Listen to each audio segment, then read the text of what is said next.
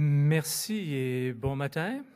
Good morning et merci pour euh, l'invitation qui m'a été faite euh, de me joindre à vous euh, ce matin pour parler de choses qui ont été partiellement mentionnées par certaines personnes ce matin, dont mon collègue avant moi.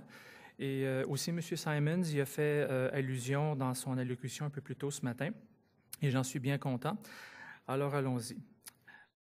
ceux qui me connaissent ne seront pas surpris euh, si je vous informe que j'entends profiter des quelques minutes qui me sont consacrées euh, aujourd'hui pour insister sur l'importance de la coopération, et oui, coopération encore une fois, et de la convergence dans la préservation et la mise en valeur des archives au Canada.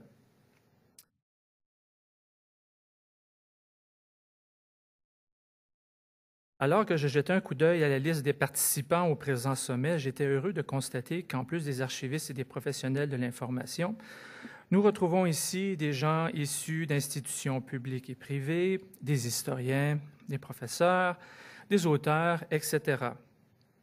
In no particular order. Pas dans un ordre précis. les organisateurs de ce sommet ont voulu rassembler des intervenants de différents milieux afin de faire valoir le point de vue des professionnels, des organismes et des autres partenaires intéressés au sort des archives au Canada.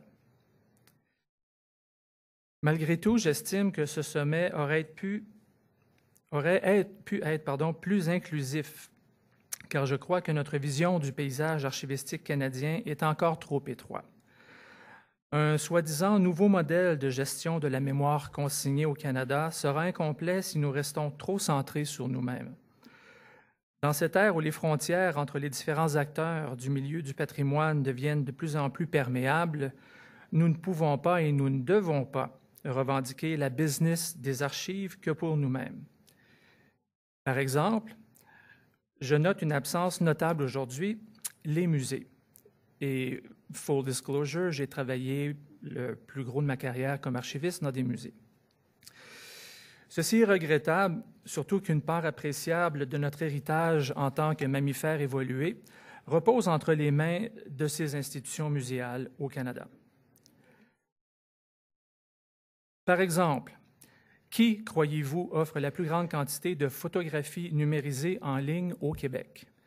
Euh, s'agit-il d'une institution d'archives quelconque, petite ou grande? Pas du tout.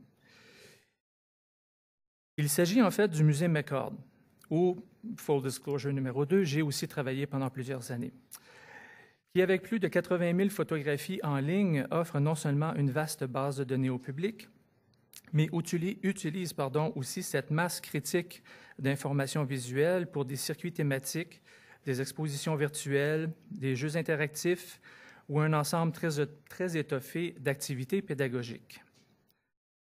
Même le Musée des beaux-arts de Montréal et le Musée national des beaux-arts du Québec à Québec se sont mis à acquérir activement des fonds d'archives, de photographes, des fonds de photographie. Un autre exemple, rapidement, je pourrais en présenter plein comme ça, mais un autre exemple, le musée Glenbow à Calgary, que la plupart d'entre vous connaissez sûrement. Ce musée, on, le voit euh, sur leur site Web, est le plus grand dépôt d'archives non gouvernementales au Canada, avec plus de 5 km linéaires de documents dans ses réserves qui racontent l'histoire de l'ouest du pays.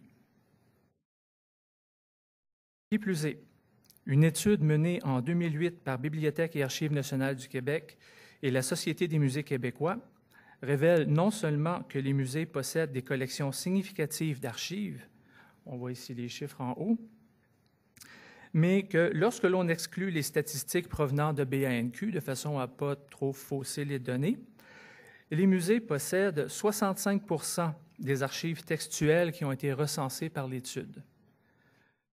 Je le répète donc, une partie significative des archives au Canada se trouve dans les musées.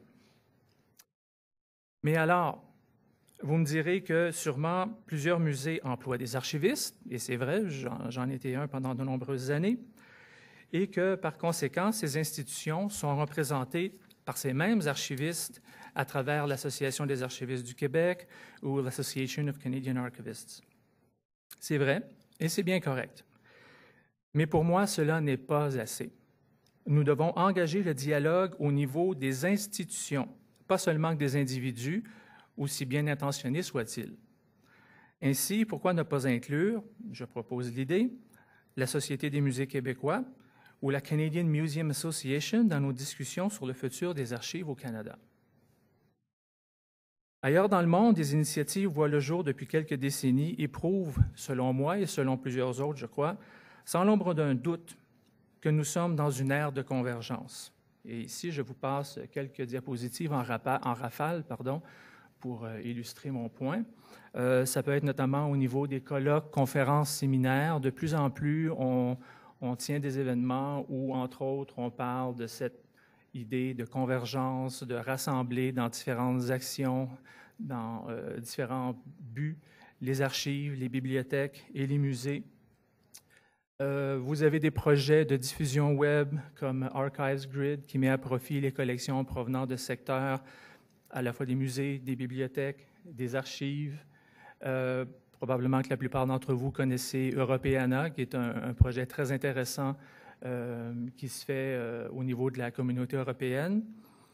D'ailleurs, on, on, aura un invité d'Europeana au prochain congrès de l'Association des archivistes du Québec ce printemps, petite plug en passant. Donc, pour nous parler de ce projet qui rassemble le patrimoine culturel européen à travers différents les collections de différents secteurs, bibliothèques, archives, galeries, musées euh, et compagnie. Euh, ça peut être aussi au niveau d'institutions qui ont pour but de financer, de soutenir les bibliothèques, les archives, les musées, comme euh, l'IMLS aux États-Unis ou le Museum Library and Archives Council en Grande-Bretagne, qui n'existe plus aujourd'hui, qui a été remplacé, mais qui était quand même là pour servir aussi la communauté de ces milieux-là. Euh, ou sinon des projets spécifiques qui sont lancés par des organismes comme l'OCLC avec son Library Archives and Museum Collaboration Program, qui a produit des résultats euh, peut-être modestes, mais qui sont quand même assez intéressants. Bon, malgré tout, euh, bien que nous ne voulions pas renier les principes qui nous sont chers, nous, archivistes, devons reconnaître que nous sommes là pour servir les usagers et la société, et que c'est à travers une plus grande collaboration entre tous les acteurs du milieu culturel que nous accomplirons mieux notre devoir. Nous n'y perdrons pas notre âme. Travailler avec des gens d'autres secteurs fera pas en sorte, je pense, que nous perdrons notre particularité et unicité en tant qu'archivistes et professionnels de l'information. Au contraire, je crois que nous en sortirons plus forts, entre autres pour servir nos usagers. La coopération n'est pas que désirable, je crois, elle est essentielle. Je retiens pour vous en terminant un extrait qui nous provient du Norwegian Archives, Library and Museum Authority, euh, qui, je trouve, émet un constat très pertinent. Les sources du savoir sont multisectorielles, il y en a d'autres qui l'ont euh, avancé ici ce matin. Et les possibilités de l'ère de l'information favorisent un service plus efficace et centralisé aux usagers. J'achève. Ces usagers qui, par ailleurs, et là je veux choquer un petit peu parce que je suis un agent provocateur, ces usagers qui, par ailleurs, se fichent pas mal de savoir d'où vient l'information.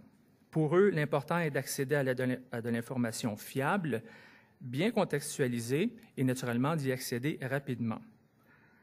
Donc, nous adoptons une vision plus englobante du patrimoine archivistique. Enfin, je l'espère. Euh, j'aurais pu citer d'autres exemples. Il y en a plein. Bon, j'ai parlé des musées, mais il y a d'autres initiatives euh, qui mettent à profit les connaissances, par exemple, des usagers. Comme par exemple, tantôt on a parlé de crowdsourcing, le Citizen Archivist Dashboard aux États-Unis, donc qui est un projet original qui met à profit les connaissances des usagers pour rendre les archives plus accessibles.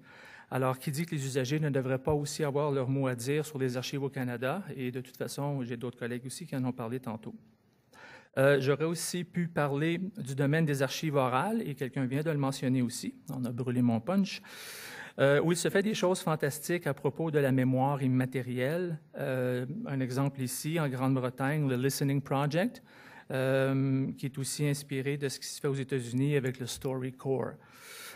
Bref, s'il y a une chose, euh, mesdames, messieurs, euh, que j'aimerais que vous reteniez de mon intervention aujourd'hui, c'est que le patrimoine documentaire au Canada, dans son ensemble, euh, ne sera bien servi que si nous impliquons dans nos discussions tous ceux et celles, toutes les institutions qui ont un rôle à y jouer. Alors, merci de votre attention.